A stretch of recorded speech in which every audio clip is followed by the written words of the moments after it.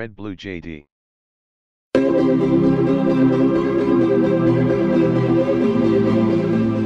bitewe n'igihe umaze ku isi hari ingano runaka y'ibyo wumvise ingano y'ibyo wasomye ingano y'ibyo wabonye ndetse n'ingano y'ibyo wowe ubwawe witekerereje cyangwa se wavumbuye. Mu by'ukuri muri ibyo byose uba warumvise cyangwa se uba warasomye hari zimwe mu nkuru uba warumvise cyangwa se uba warasomye hari ibyo uba waratekereje wowe ukumva ko bishoboka. Ariko hari n'ibyo wumva bitashoboka cyangwa se bitarabayeho. Urugero mu gitabo cyera cyangwa se igitagatifu cya bibiliya harimo igitabo cyitwa iyimuka misiri cyangwa se kuva. Iki gitabo kivuga uburyo ubwoko bw'imana bw'abisiraheli bwatotorejwe mu gihugu cya misiri imyaka igera kuri magana ane. Ariko nyuma imana ikaza kubatabara. Muri uko kubatabara bajya mu gihugu cy'isezerano i kanani. Bambutse inyanja itukura n'amaguru.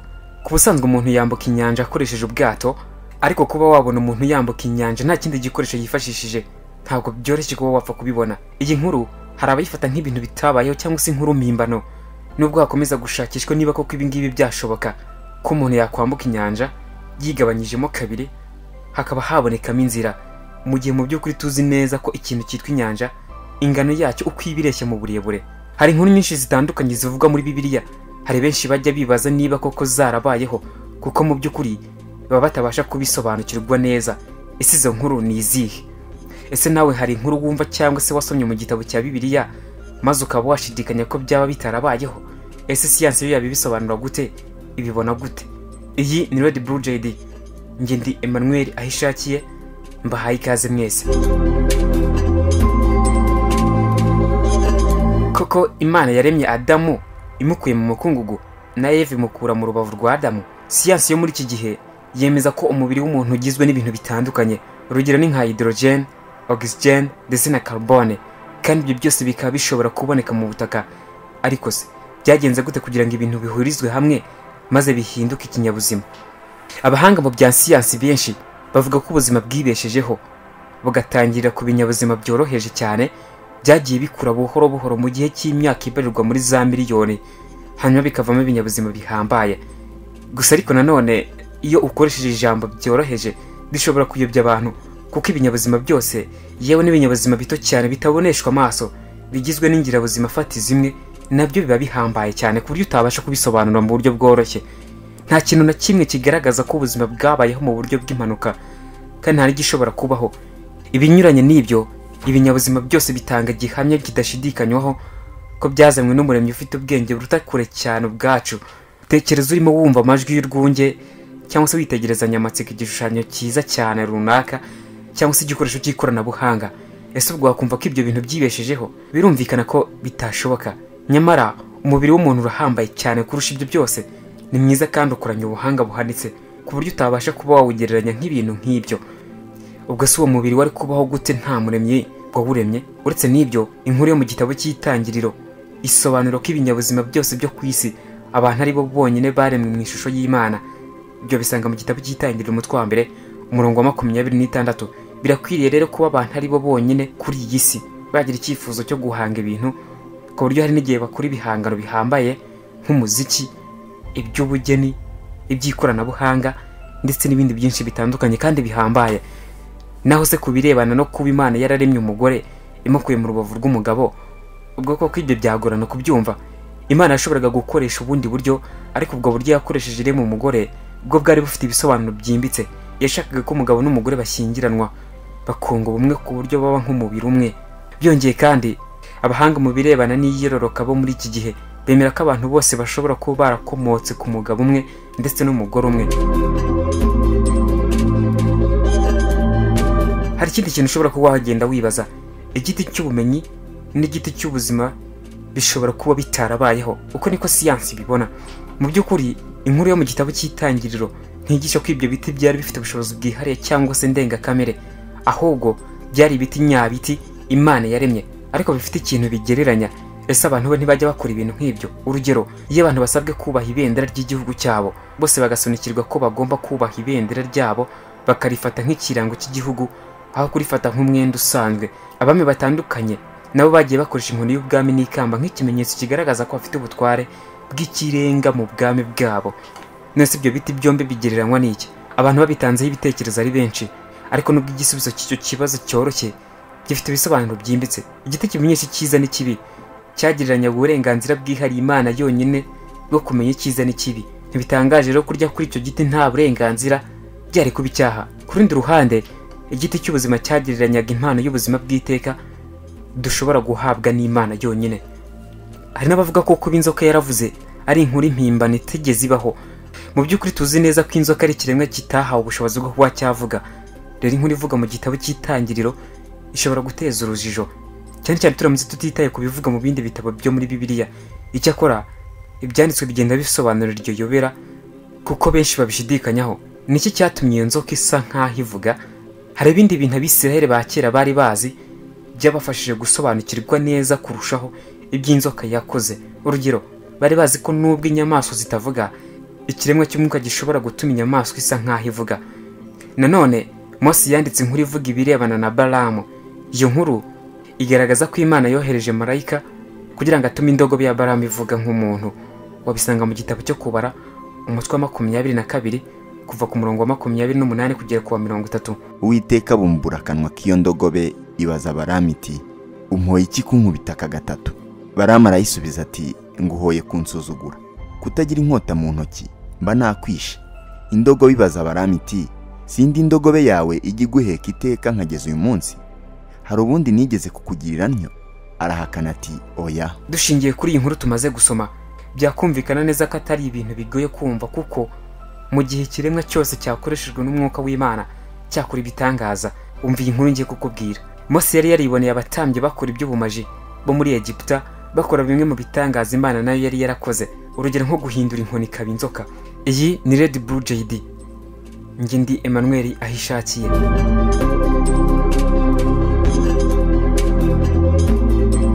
ese abisiraheli ba kera batekereje ko satani ari we wakoresheje ya nzoka muri edeni?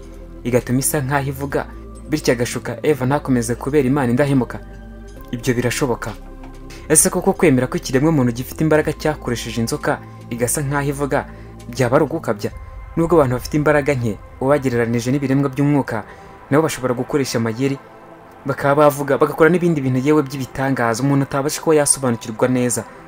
Urugero ni nk'urwo nawe imaze kubabwira haruguru ubwo abapfumu n'abakonekone bo mu gihugu cya egiputa bakoresheje ubumaji bwabo nuko bagafata inkoni bakazihindura inzoka. Ibyo na byo n'abana b'abantu babikoze ariko bari babikoreshejwe n'imyuka mibi. Hari ikindi kintu abantu bakunda kwibazaho cyane siyansi na yo ikaza ikivuguruza. Umwuzure watejwe n'imana.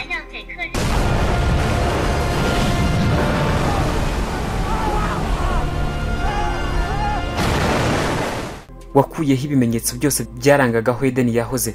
Amagambo yo muri ezekiyeli umutwe wa mirongo itatu n'umwe umurongo wa cumi n'umunani yumvikanisha ko mu kinyejana cya karindwi imbere ya yesu ibiti byo muri edeni byari bimaze igihe kirekire bitakiriho. Ku bw'ibyo abantu bose bashakishije aho ubusitani bwa edeni bwahoze nyuma yaho nyine. Ntibashoboraga kuba bahabona. Birashishikaje kuba abahanga mu bya siyansi by'umwihariko ubuvuzi baravumbuye ko igufa ry'urubavu rifite ubushobozi budasanzwe bwo kwisana bitandukanye n'andi magufwa kubera ko iyo akantu kameze nk'agaho karifatanya katangiritse riba rishobora kongera kwisubiranya. Abahanga muri siyansi bagize icyo bavuga kuri bibiliya ndetse n'ibitangaza bivugwamo. Bibiliya ivuga ko isi yaremwe mu minsi itandatu ariko abahanga muri siyansi bemeza ko yaba yararemwe mu myaka miliyari cumi n'eshatu na miliyoni umunani ndetse ko hari n'uburyo bwo gusobanura ibitangaza bigaragara muri bibiliya mu isezerano rya kera hifashishijwe siyansi. Scoreda umuhanga muri siyansi yifashishije raporo ya atlas obscura avuga ko isi yaremwe ku muvuduko muto cyane ugereranije n'uko bibiri bivuga iba bivuga agendeye ku kuba ibintu byihuta ari nako igihe cyo kubikora kiba gito. Scoreda akomeza avuga ko umunsi uvuga muri bibiliya w'amasaha makumyabiri n'ane nyine ari igihe mbumbe isi yaremwe cy'amasaha miliyari ibihumbi makumyabiri na bine mu minsi itandatu bingana n'imyaka miliyari hafi cumi n'enye. Gusa undi muhanga witwa peter enes akaba umuhanga mu bya bibiliya.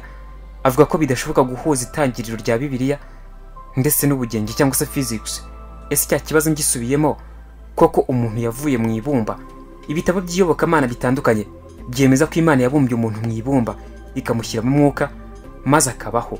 Mu gitabo cy'itangiriro kandi havuga ko umuntu azasubira mu gitaka igihe azaba apfuye. Gusa ubushakashatsi bwakozwe muri bibiri na cumi n'itatu bwagaragaje ko ibumba rishyizwe muri laboratwari ryabyara bimwe mu bigize umubiri w'umuntu nk'ibyongera imbaraga ndetse n'utundi turemangingo dutandukanye tuzwi nka dna agashami kiga ku binyabuzima muri cornell university yo muri new york nako kemeza ko ubuzima ku isi bushobora kuba bwarakomotse ku ibumba. Gusa igihe umuntu yaremwemo kikaba kirekire cyane ugereranije n'uko bibiri bivuga daniel anken ni umukozi w'ishuri rya south east baptist seminary we yemeza ko adamu na eva babayeho koko. First of all, Jesus clearly believed that Adam and Eve were real people. Secondly, Paul icya mbere na mbere na yesu ubwe yemeraga ko adamu yabayeho. icya kabiri ni uko na pawulo nawe yavuze ko habayeho adamu wa mbere n'uwa kabiri. umwe yazanye urupfu kuri bose undi azana ubugingo kuri bose. rero iyo wumvise ubwo buhamya bwa yesu ndetse n'inyigisho za pawulo kuri njye bimbera gihamya ko imana yerekanye ko adamu na eva babaye ababyeyi bacu ba mbere. As God understood Adam and Eve to be the primordial parents of us all, ese adamu na eva babayeho koko? Mu gitabo richard darkwins yise river out of eden avuga ko mu myaka ibihumbi magana abiri na mirongo itanu ishize hari umugore wabayeho muri afurika akaba ari nawe inkomoko ya muntu. Mu mwaka ushize kandi ubushakashatsi bwagaragaje ko adamu yabayeho mbere y'imyaka ibihumbi icyenda ugereranije n'uko abahanga muri siyansi babivugaga ibi byose bikomeza kwerekana uburebure bw'igihe isi n'ibiyiriho byaremwemo gusa abashakashatsi b'abongereza bavuga ko adamu yabayeho mu myaka ibihumbi magana abiri n'icyenda bitandukanye n'abemeza ko yabayeho mbere y'abandi maternal parent, one gene from a paternal parent. That's why we have two copies.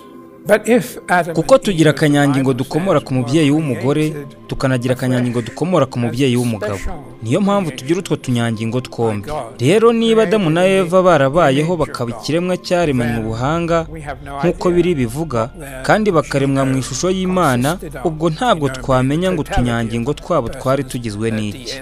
Ibyo kandi biranashoboka ko umubiri wabo wari ufite ubushobozi bwo kurinda abana babo ibibazo bitandukanye mu gihe abana babo bashakanye kandi bafitanye isano. Variability genetically, uh, but also would have prevented any problems arising from their children marrying one another. uwo ni professor edgar h. Andrew akaba umuhanga mu by'ubugenge cyangwa se fizike. Ese umwuzure wo kwa nowa wari igitangaza koko? Mu gitabo cy'itangiriro umutwe wa karindwi kuva ku murongo wa cumi n'irindwi kugera ku wa cumi n'umunani handitse ngo umwuzure umara mu isi iminsi mirongo ine. Amazi aragwira aterura ya nkuge ishyirwa hejuru y'isi. Amazi arakwira cyane arushaho kugwira cyane mu isi. Ya nkuge ireremba ku mazi. Muri bibiliya mu gitabo cy'itangiriro havuga ko imana yarakariye abantu kubera ibyaha iteza umwuzure isi ngo yategetse n'uwo kubaka inkuge ubu dushatse twanabyita ubwato ngo akize umuryango we ndetse n'ibindi binyabuzima. Ariko abashakashatsi bemeza ko ibi byabaye mu mwaka w'ibihumbi bitanu magana atandatu mbere ya yezu kirisito ubwo ku isi hari ubushyuhe bukabije. Kubera ubwo bushyuhe ngo urubura rwinshi rwarashonze bitera umwuzure mu nyanja ya mediterane. Ibi byageze no muri turukiya mu gace kari karishwe cyane n'amapfa. Aha kandi ngo ni ho inyanja y'umukara yahindutse inyanja y'umunyu bitewe no kwivanga kw'ayo mazi. Abashakashatsi bo muri kaminuza yo muri leta ya caroline y'amajyaruguru basanze ibigirwamana bikomeye byaragiye bivuka mu gihe umuntu w'icyo gihe yabaga yugarijwe n'ibibazo by'inzara imyuzure indwara ndetse n'ibyorezo. Bavuga ko kurema ibyo bigirwamana byabafashaga kwihanganira ibihe bigoye babaga barimo. Ibi babibonye nyuma yo gukora ubushakashatsi ku madini magana atanu mirongo inani n'atatu. Bashaka kureba impamvu ibi byago bifata umwanya munini muri bibiliya. Mu mwaka w'igihumbi magana cyenda mirongo cyenda umuhanga mu by'ubumenyi bw'isi wo muri kaminuza ya columbia afatanyije na walter pittman bavuze ko amazi angana na metero kibe zisaga igihumbi magana atanu yagiye ameneka ku isi mu minsi magana atatu. Nyuma yaho habayeho umwuzure bemeza ko ariho n'uwo wo kwa nowa wakomotse. Aho mose yavuganiye n'imana. Marayika w'uwiteka amubonekera mu kirimi cy'umuriro kiva hagati mu gihuru cy'amahwa. Arareba abona icyo gihuru cyakamo umuriro nticyakongoka mose aribwira ati reka ntambike ndebere ishyano riguye.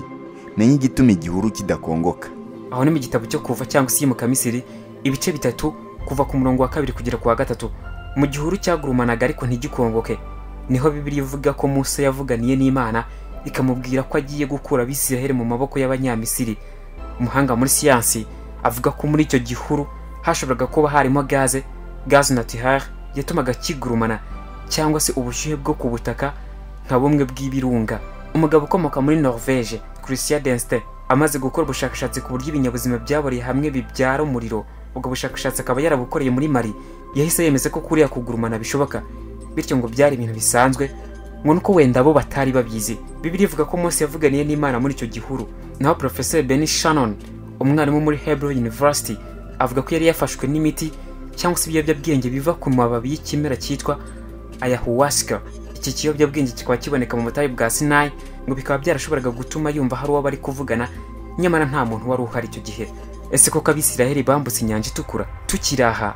Mu bibazo bikunze kugarukwaho na benshi abahanga mu bya siyansi abahanga mu by'ubumenyi bw'isi abanyamateka abahanga mu by'inyanja ndetse n'abandi batandukanye bagiye bagenda babigarukaho bakabyibazaho byinshi bitandukanye. Nibyo byatumye bakora ubushakashatsi. Urubuga washington post rugaragaza ko umuhanga mu bya siyansi witwa Carl Drews yagerageje gushakisha uko byaba byaragenze kugira ngo mu nyanja habe habonekamo inzira. Ugasanga ari ibintu bishoboka cyane nk'uko byabaye mu kiyaga cya Erie aho wakwibaza ngo byagenze gute? Atmospheric phenomenon mu miyaga ibaho ikomeye cyane. Hari umuyaga witwa wind sail down ugendera kuri mayero mirongo itandatu ku isaha. Uyu rero iyo uri guhuhura asunika cyane maze hakaba icyo bita storm surge cyangwa se umuhengeri usunika uva mu ruhande rumwe ugana mu rundi. Ibi akaba atekereza ko ari byo byaba byarabaye ku nyanja itukura. Gusa ariko nanone harakibazwa uburebure bw'inyanja uko buba bungana. Hakibazwa uburyo bishoboka ko hahita habonekamo ahantu umuntu yakwambuka humutse hameze neza rwose bigakomeza kuba byatera urujijo abantu benshi. Gusa ariko uyu Carl Drews avuga ko mu by'ukuri abisiraheli batambukiye mu nyanja itukura rwagati nk'uko bibiri bivuga ngo ahubwo bambukiye mu kibaya cyarimo iyo nyanja. Nk'uko nyine haba hari inyanja ahantu runaka gusa hirya hakaba hari ikibaya ahantu hameze neza ariko hari amazi ariko ari bugufi cyangwa se atari harehare. Nuko yakomeje avuga ko banyuze ahantu hameze nk'umugezi hagufi cyane aho amazi yanyuraga ava mu majyaruguru agana mu majyepfo. Ayo yanyuraga muri arabiya sawudiri mu burasirazuba muri misiri ndetse no mu burengerazuba bwa sudani ngo aho hantu hari hagufi kuba umuyaga wa wind set down wahagera amazi akitandukanya maze abisiraheli bakabona aho bambukira.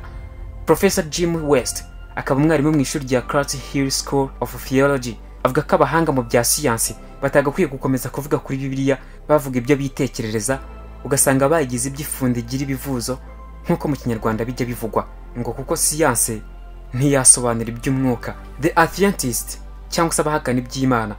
Urugero nk'uwitwa Pete Meyers yavuze ko ubushakashatsi bwakozwe yari kubaza umuyobora cyangwa se editor we niba koko ari ukuri cyangwa se ari kugenda avuga ibyo ashaka yikinira.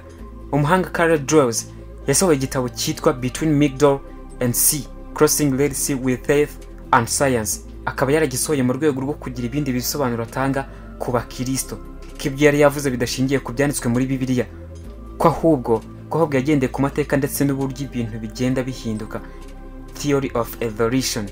Kugeza na n'ubu hari byinshi bigenda byibazwa niba koko byaba byarabayeho byanditswe mu gitabo cya bibiliya cyangwa niba ari inkuru z'ibihimbano zashyizwemo mu rwego rwo kwigisha umuryango mugari.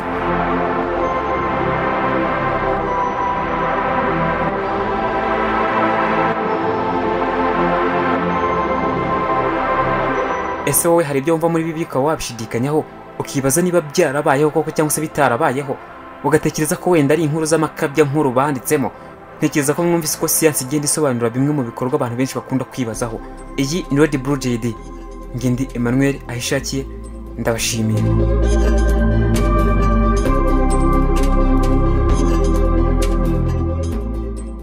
Abacuruzi bafite ibicuruzwa na serivisi nziza ariko bafite ikibazo cy'uko abantu benshi batazi ubucuruzi bwabo. Hari icyo wakora ibihumbi n'ibihumbi by'abanyarwanda bakarara bamenya ibikorwa byawe. Muri red blue jd bakwereka uko ubigenza ubucuruzi bwawe bukamenyekana kandi n'abakiriya bakarushaho kukwegera no kukwizera. Bafotora ibikorwa byawe bagasobanura ubuziranenge bwabyo bakanabimurikira abakiriya. Bafotora abageni bakanababikira videwo z'ubukwe bwabo kuri YouTube ku buryo nta kibazo cyo kongera kubura amashusho cyabaho. Abaririmbyi babakorera amashusho y'indirimbo zijyanye n'igihe bakanabafasha kumenyekanisha ibihangano byabo. Abantu basobanutse bamaze kumenya ibyiza byo gukorana na Red Blue JD bakorera munsi y'isoko rya Kimisagara werekeza Nyabugogo. Wahamagara kuri 0788 36 53 55 byigeze bikubaho kwitabira ibirori. Inama cyangwa se ibindi bikorwa bikaba uhari ukabikurikirana kuva bitangiye kugera bisoje. Ariko nyuma y'ukwezi kumwe ugatangira kwibagirwa bimwe mu bice by'uko uwo muhango wagenze kandi wari uhari. Niba urimo kureba aya mashusho ni uko udashobora kwihanganira kureba amashusho no kumva amagambo atari meza.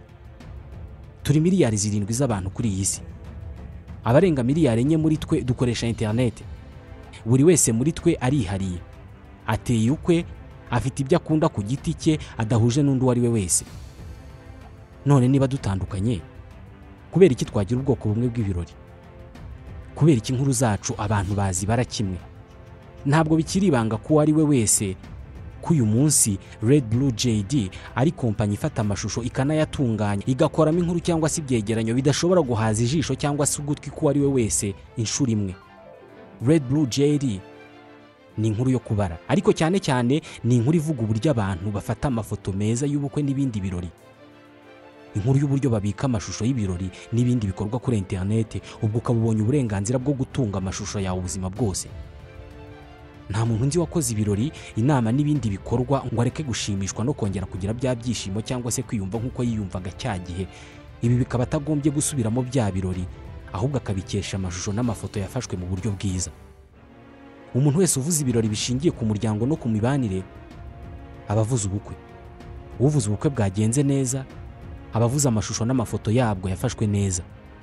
Uvuze amashusho n'amafoto yafashwe neza mu bukwe mu nama no mu bindi birori aba avuze Red Blue JD Red Blue JD ni indi nyito bakoresha iyo bashaka kuvuga filime mbarankuru zikozwe mu mashusho meza n'ubutumwa butava mu mutwe w'uwabwumvise hari ikibazo kimwe kirebana n'iyi ngingo.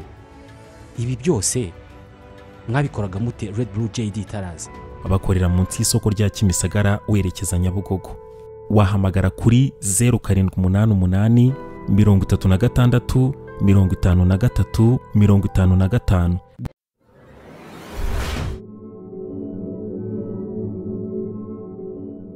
Red Blue JD.